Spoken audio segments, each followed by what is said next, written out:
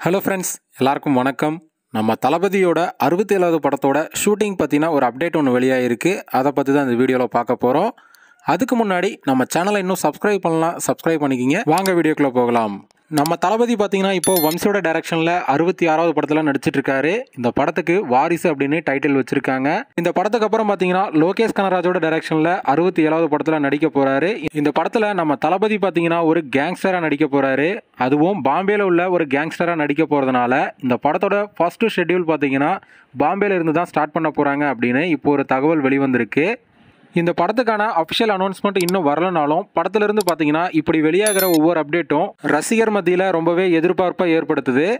இந்த படத்துக்கான official announcement எப்போ வெளியாகும் அப்படின்னு ரசிகர் எல்லாருமே ரொம்பவே எதிர்பார்த்து காத்துக்கிட்டு இருக்காங்க.